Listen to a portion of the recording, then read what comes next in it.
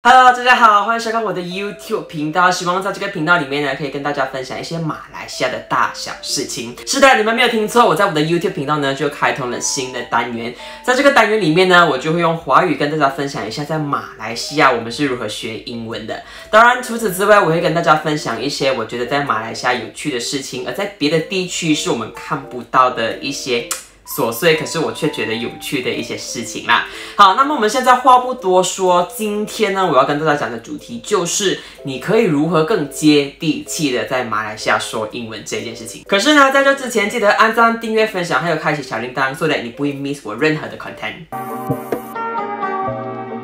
如果你要在马来西亚说英文呢，语助词是扮演着非常非常非常重要的一个角色，因为不管你在马来西亚说什么语言，英语、华语，甚至是马来文的话，你都需要语助词来衬托它的美感。所以今天在这个影片里面呢，我就跟大家分享三个不一样的语助词。好，虽然呢我说是语助词，可是这些语助词呢，就是在字典里面你是找不到的，所以呢它并不是很所谓的专业，而是马来西亚呢在啊时间的进化里面呢就自己衍生出来的一些语助词啦。所以呢第一个呢我要跟大家介绍的就是拉。我相信啦，这个语助词大家都应该不会很陌生啦，因为每一次当我们一提到 Singlish 啊，或者是 Manglish 的时候，啦这个语助词就会出现了。可是哦，啦这个语助词我觉得是最难的，因为对很多外国人来说，它是 totally 不 make sense 的，因为他们每一次觉得啦这个语助词只需要随便的加在每一个句子后面，那么他们就是说着标准的 Singlish 和 Manglish 的。No，you are so wrong。拉其实最简单的意思就是要 emphasize 或者是着重加强一句话的意思，比如说 Let's have dinner here 啦。好，这句话呢其实只会出现在就是一群人，然后过后啊经过一番激烈的讨论过后会会出现的一句话，就是说啊我们不用再讨论了，今天呢我们就在这一间餐厅解决吃饭就好了。可是可是如果现在这个拉的音调稍微变了一点点的话，就好比说一个女生突然间很轻声细语的告诉你。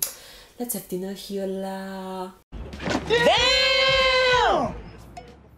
哇哦，我告诉你，你想都不用想，直接就在那边吃就行了。因为现在这个拉的意思呢，已经就变成了，我求求你了，就让我们在这边吃饭好吗？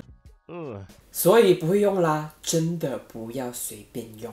接下来呢，就是 me 这个语助词了。我个人觉得 me 是比啦还要简单的啦，因为通常呢，我们会用 me 的话，就是为了再三确定一件事情而已。比如说现在呢，你有马来西亚的朋友跟你说了一些非常难以置信的话呢，好，你真的想都不用想了，直接就 really me。他的意思呢，就是说你确定吗？然后哦如果你的朋友跟你说了一些让你感觉到非常惊讶的一件事情的话，那你其实也不用想，直接就用 me 就可以了。比如说，Really me? Malaysia is knowing。可是哦，你在说这一句话的时候，你的情绪必须再高昂一点。比如说，Really man, Malaysia is snowing。所以如果你 handle 不了拉的话，其实你可以 try try，就是学习怎么用 mash。好，最后一个呢，你需要学起来的语助词就是 lo。以我个人看来，lo 算是比 me 还有拉更简单的一些语助词啦。基本上呢，我们会用 lo 的时候，就是当我们被逼着或者是被勉强去做一些我们不想要做的事情。然后最 basic 的 example 就是 OK 咯。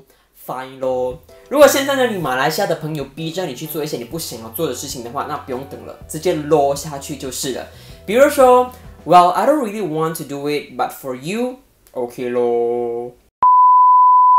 虽然在影片的一开始呢，我就跟大家说我会分享三个语助词，可是现在呢，我就硬硬要来个 bonus，而这个 bonus 呢就是 one。当我们在说 Singlish 跟 Manglish 的时候呢，其实 one 算是最高殿堂的里面其中一个字了啦。因为如果你能顺理成章的把 one 加入每一个句子的话，那其实就代表着你已经对 Singlish 跟 Manglish 了如指掌了。one 其实跟 la 的意思呢是非常的相近的，也就是说你用 one 去 emphasize 或者是去着重一件事情的严重性。好比说 He's very good one I you know why。所以当你的朋友一直不相信你说的话的时候，那你就不用考虑了，直接就一直在你的句子里面下 one 就对。Trust me, you've seen it before one.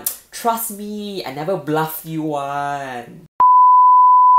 是的，如果你很想要接地气的去说马来西亚的英文的话，那这几个语助词呢就是入门款，把它学习好，那我觉得在不久的将来呢，可能我们就会误认以为你是马来西亚人了。Don't worry 啦，I will see you guys soon in Malaysia。好啦，今天的影片呢就到此为止了。如果你对马来西亚生活大大小小事情有一点点兴趣的话，那就记得按赞、订阅、分享。我们下次影片再见喽，拜拜。